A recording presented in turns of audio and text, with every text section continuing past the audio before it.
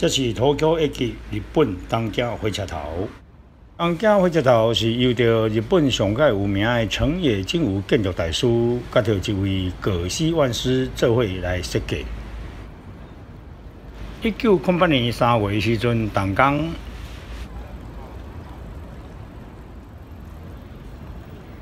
一设计是上车的入口，甲着落车的出口是无共款的。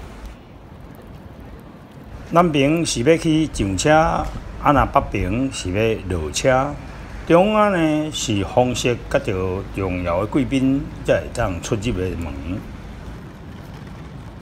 伊这建筑是文艺复兴式赤炼瓦的红砖啊建筑，一般拢改叫做是成野精武的成野式样。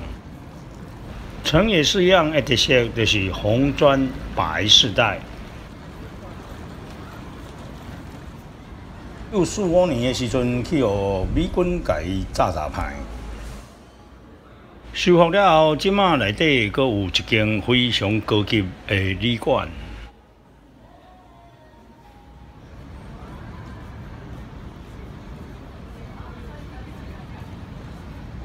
战后咧修复时阵，因为边仔两边的八角形圆顶一定拢真歹修复咯。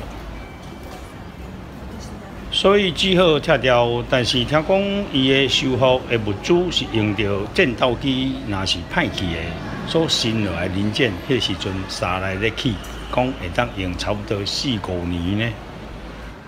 修复技术实在是真高明，内底呢，毋若将着圆顶甲伊起倒落来刷咧，所有的装饰拢甲伊做出来。这内底有几个动物咧？你敢有算过？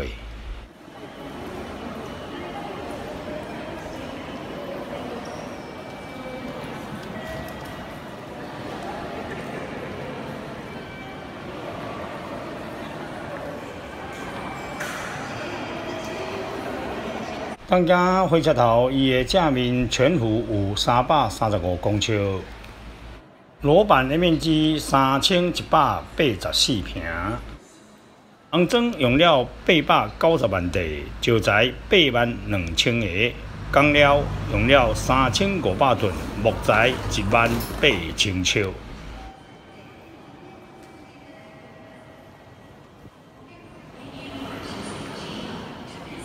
东间也下隔壁有一间中央邮便局，会当爬去顶悬看到整座真美丽的东京火车头啦。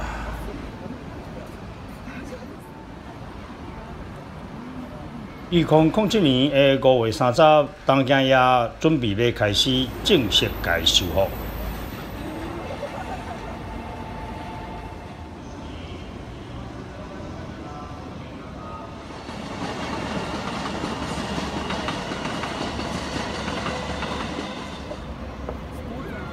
为迄一年开始，我就真认真，定定走来家己看看，啊，即嘛是进度到对啊啦。